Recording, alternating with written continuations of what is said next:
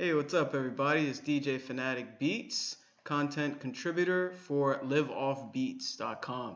Yo, just wanted to give you a quick video um, of some features in FL Studio 20. And if you want to, you can follow me at Twitter at DJ Phanatic. That's DJ P H A N A T I C, as well as uh, Instagram at DJ Phanatic Beats, spelled the same way. So, I uh, just wanted to show you a quick video of basically something that can help your workflow out. Uh, I thought this is really cool. This is in the FL Studio update version 20, and I thought it was dope. And uh, I took it for granted, basically. And it's a quick feature that you can access. Uh, it's basically arranging your transport controls, basically your whole status bar up here. Uh, you can arrange it to any way that you like. And I know a lot of times you have all these different icons and all these different controls at the top and sometimes you just don't need all that stuff and it's a bit overwhelming when you look at it especially when you start out with FL uh, Studio if you're new to it. Um, I thought it was a little overwhelming when I started. So uh, just to arrange it and basically it helps your workflow too because you want to be able to get to key things quickly uh, that you use instead of being having other stuff up here that you don't need. Um, don't need but not not saying that you don't need, but not interested in. So what you can do, um, all you do is right click anywhere in the top here in this control area, and you just right click and you go to edit.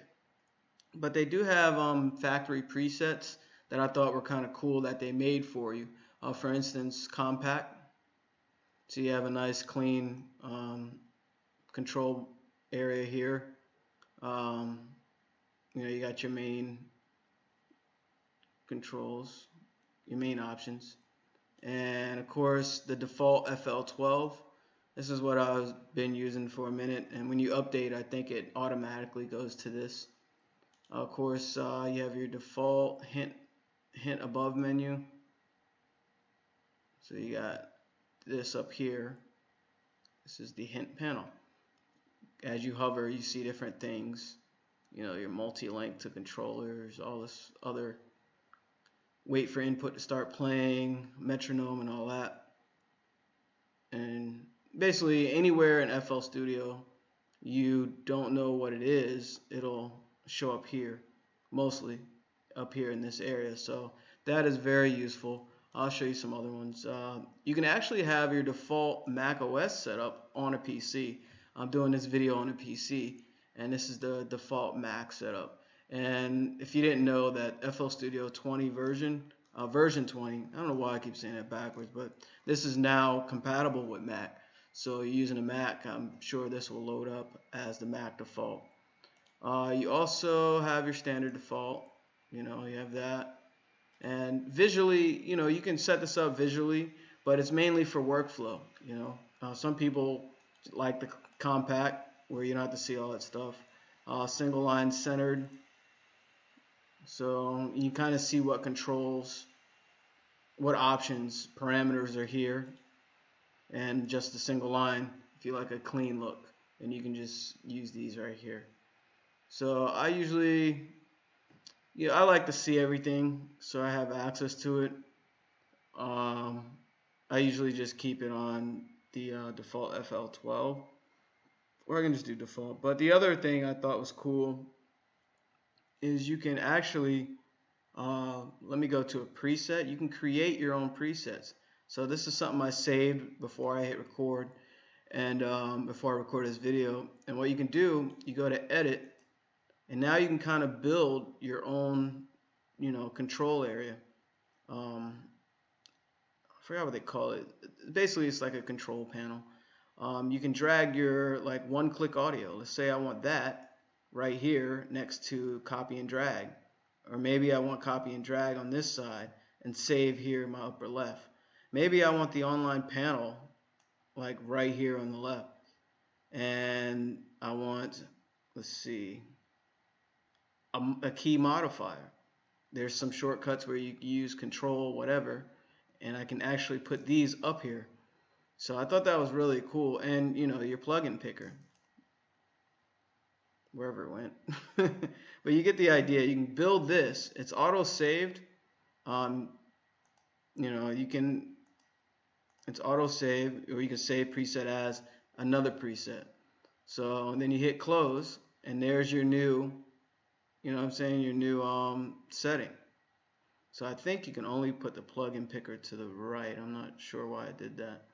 But you get the idea with, you know, what you can do. Remember, it's right click, edit. Um, sometimes I was clicking left click and I was having trouble finding it. So it's definitely right click. Where's my plugin picker? Uh, there's a reason why it's doing that. But you get the idea. Um, let's see. Renders audio file. What else I would like to put up there? Metronome. That's a constant thing you use a lot. Uh, say I want metronome. See, I don't know why it doesn't.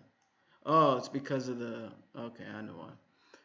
So you get the idea. You can edit your own panel. I'm going to take that back to actually right click. See how I'm used to left clicking? Just the default and have everything up there. Um, also, another thing I wanted to cover, uh, just real quick, I thought it was really good because I tend to forget about this. Um, F5 brings you to this playlist area. Um, and also, if you hit F5 again, it'll take you to the mixer. So basically, I think it's F7 takes you to piano roll. And if you hit it again, it'll go back to whatever the last window was, which is the playlist window. F8 is your plugin picker. You get all to your plugins and effects. And you notice I have a lot. um, F6 is the channel rack, which you use a lot in FL Studio. And you know, so you hit F6 or whatever, again, it'll open whatever last windows in the back. You hit F5 again, it'll open whatever last windows in the back. So it's a quick way to get to these windows without having to click on these, um, you know, on these buttons. So when you're in the groove, you know, making your music, you can get to these windows faster by using your function keys. So yeah, that's just a, a quick way to, you know, get to your workflow, uh, improve your workflow, and also um, a quick way of organizing how you want whatever parameters you want access to quicker. Uh, the last thing I was going to show you is something I definitely take for granted, and I was just kind of exploring. And I definitely recommend you exploring in the program that you use. And and also this type of um, organizing this to different settings, I mean different um, factory presets like compact or whatever. Uh, most DAWs have that option. Uh, you just have to kind of dig a little bit and, and locate it. Um, it's usually under view. If you go to view, let me see, view, and you can view a bunch of things. But usually it's under view or layout. And you can lay out your um, control panel here and you know to whatever liking that you use. That way your workflow basically improves your your creativity because the program basically is to bring out what you want to create. And you um, running into a technical roadblock where you don't have access to this channel rack immediately you're halting that forward momentum of creativity. So it's definitely important you know to have all the tools that you want or the way that you like it and based on the way that um, you produce so um, the other thing I was going to show you before I forget is under file. Uh, when you're creating a new uh, pattern, uh, a new project in the FL Studio, um, they always had this, but they, I noticed they added some more. If you go under File, New from Template, there's a lot of different templates that you can choose from, which I thought was dope. Um, you know, there's a basic one with the limiter. You get a kick, clap, hi-hat, and snare, and a minimal template includes a limiter on the master. I don't use that um, because you know their sounds. I use different sounds. I don't really. I mean, it's good to get an idea out, or if you're just starting out, you just want to make something. You know, you can use their sounds, but I definitely, uh, you know, recommend getting some quality drums and, and, quality sounds that are aftermarket. These are built in, uh, which some actually are dope, and you can also you know, mix them and add effects where they come out to be something totally different.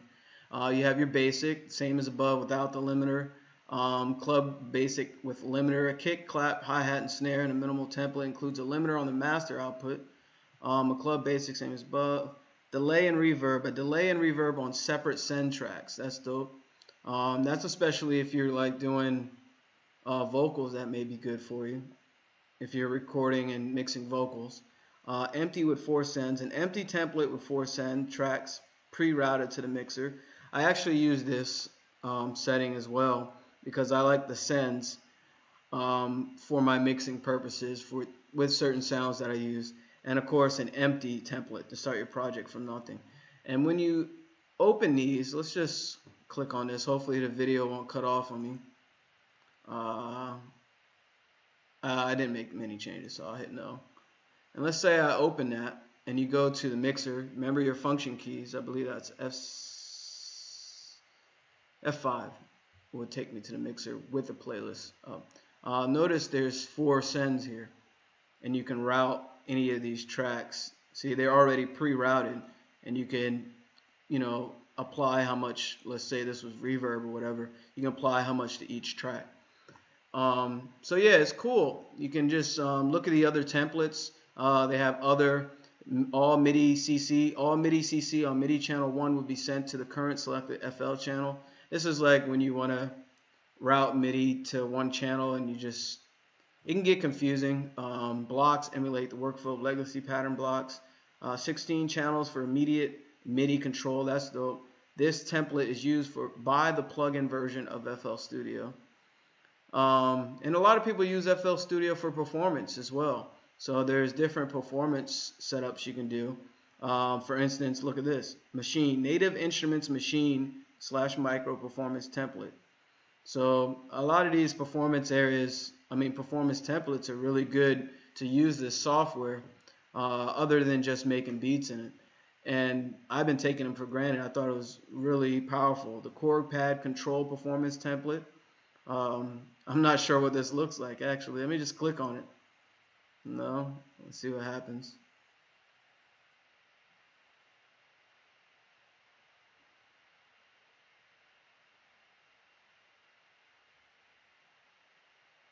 Oh, okay, I got you. Now notice they have sounds already built in and they're routed way over to this which looks like it's a send of some sort and if I go to the uh, playlist area looks like they have a template routed just for uh, the Maschine. so if you use the Maschine hardware, you know, this is definitely something you would consider uh, when you're producing to use these type of templates that help. Um, just to go back into the templates, if you go under advanced, they had some crazy advanced uh, templates that I thought were kind of dope, um, especially when you make certain type of music. Uh, you got drum and bass, dubstep, EDM, electro, trap, uh, this trap, I believe, is like the house trap. It's not, um, because I did select on it. But it gives a little breakdown, as you can see, under each title, uh, what each template is. So this is the FL Studio Trap template, pretty much everything you need to start producing trap. This includes mixer routing with the mixer part on the right mixer dock and the mastering part on the left mixer dock, placeholder channels, color coding, and many more, many other production tools. So yeah, so they're looking out. Uh, let me use my, woo, look at that. So basically they color coded all the tracks for you. And what's cool about this, see they have the mixer broken down as well. So what's cool about this, you can take these templates and save as, and you pretty much have all the routing done for you. And you can use these templates to your advantage and have your own setup or deviate from the template. So it makes it your workflow um, really advanced. Uh, these are advanced setups. I don't want to like totally get into the details of what they did here, but that just gives you an idea of um, you know uh, the different setups of what you can do when you start a new project, and also this control area and a quick way of getting to the windows with your function keys. So hopefully you found this helpful. Uh, I know it was a lot, just wanted to cover those three things and uh, hopefully you know you learned something. I didn't confuse you or nothing, but yeah. Um, once again, it's DJ Phanatic Beats. Uh, you can follow me at Twitter at DJ Phanatic. Uh, or Instagram at DJ Phanatic Beats, and that's spelled P H A N A T I C. And this has uh, been for uh, liveoffbeats.com. All right, y'all. Keep making great music. Peace.